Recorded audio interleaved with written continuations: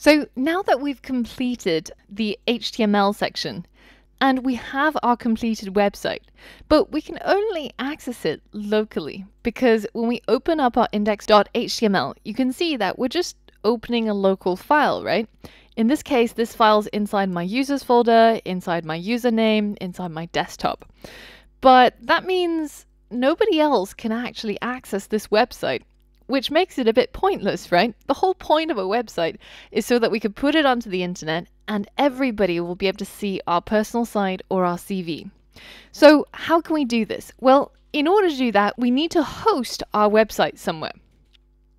Now, there's a whole bunch of hosting sites such as GoDaddy or Bluehost, but because we're learning at the moment, we don't want to have to pay for this. So, there's also a free solution that I'm going to show you. By the end of this lesson, you're going to have your personal CV up on the internet proudly displayed somewhere and you'll be able to share a URL or a link to it so that anybody across the web can be able to access it. But first things first, we'll need to do a little bit of setup. The service that we're going to use is GitHub. And we're going to talk about GitHub in a lot of detail a little bit later on. It's a really, really useful tool that is pretty much essential to a developer's workflow. But for now, we're only going to use one of its features, which is hosting our website. So, first and foremost, if you don't have a GitHub account, then you'll need to set up a new one. So I'm just going to set one up while we're at it. And now it'll ask you to choose a plan. Now we're going to choose the free plan. And then we're going to click continue. Now I'm going to skip this questionnaire and just click on skip this step.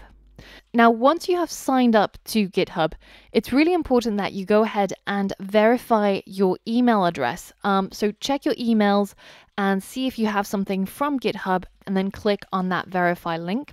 And once you've done that, you'll be able to add new repositories to GitHub. If you head over to the upper right corner and just click on the plus button, and then we're going to create a new repository. Now, this repository, I'm just going to call it CV, and this is going to be the name of my project. And all that a repository is, it's simply just a folder out there on the cloud that's going to store all of your project related files. And you'll be able to make changes to the files and update the files, and you'll be able to track all of those changes that you've made in the past.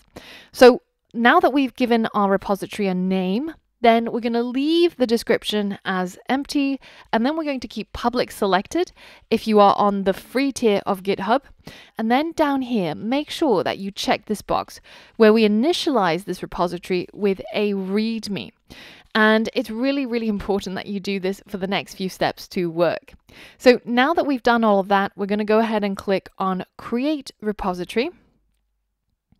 And this will take just a moment and now you should see a page that looks like this, which means that your repository has been created. And the only file that's in your repository is just a README file. So what we're going to do is we're going to go ahead and upload our files for our CV website.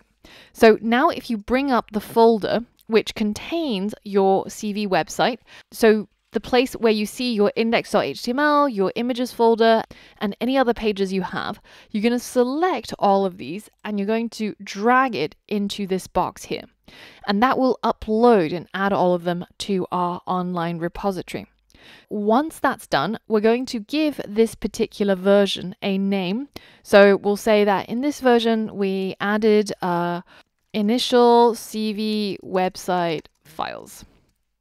And then make sure that this part where it says commit directly to the master branch is checked and then go ahead and click to commit these changes.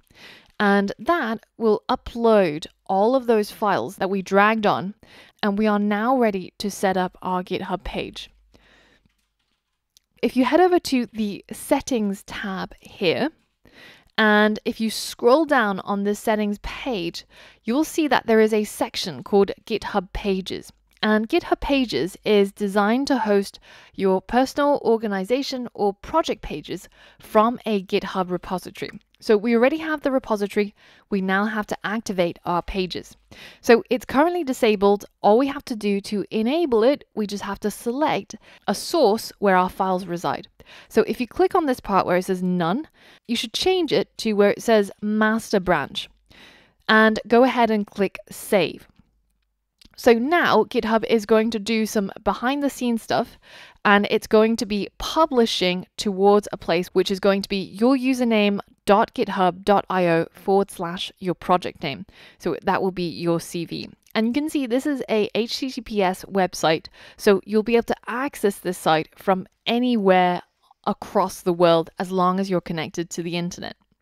Now, this publishing process takes a little while. So if you refresh this page,